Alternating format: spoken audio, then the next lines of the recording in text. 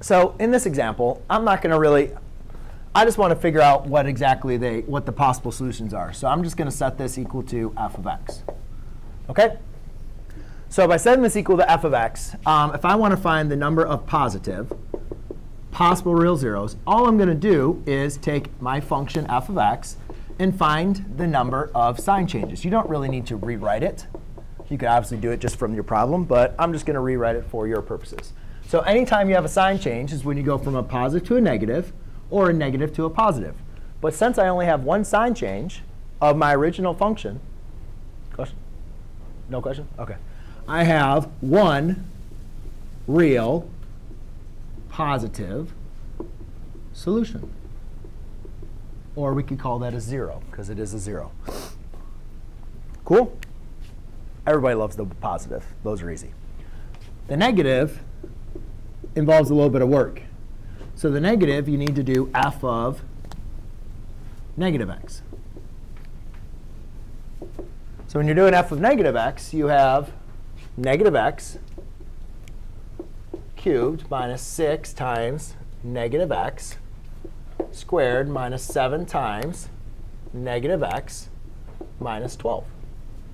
Is everybody OK with that step? Speak now or forever hold your peace. Everybody's OK. Just remember, guys, whenever you have a negative value raised to an odd power, it's still going to be negative. Whenever you have an odd, odd value raised to an even power, it's going to turn positive. So negative x cubed is going to now turn into negative x cubed. Negative x squared is now positive x squared. But positive x squared times negative 6 is now a negative 6x squared. Negative 7 times negative x is now a positive 7x minus 12. So now we count the sign changes. Negative to positive, positive to negative. So remember, Descartes' rule of signs says, though, the number of sign changes minus an even number. Yes.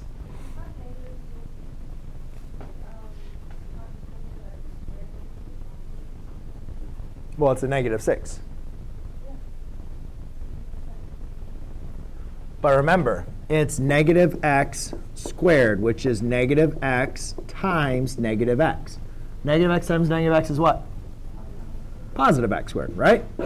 So what's negative 6 times x squared? Just negative 6x squared. Is that? So just the squaring, I know it gets so it's not times. So just remember any negative number. Remember, you just use order of operations. You got to square it before you multiply it. OK? Um, so there's two. But remember Descartes' rule of signs, and this is what everybody forgets. It's always the number of sign changes minus an even number. Well, I can't subtract my, I can't subtract an even number from 1 and still have a positive value. So I have to subtract. So in this case, I have 2 or 0 real negative solutions or zeros. Yes? Then what I do to find the number of complex is I create my box, which I did in class.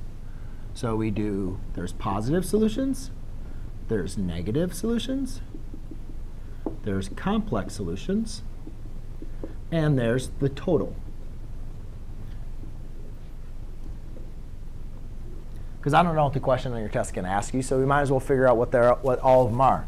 Well, the number of positive, we said there's only one the number of negative, there's actually two options. You could have two negative, or you could have zero negative, right?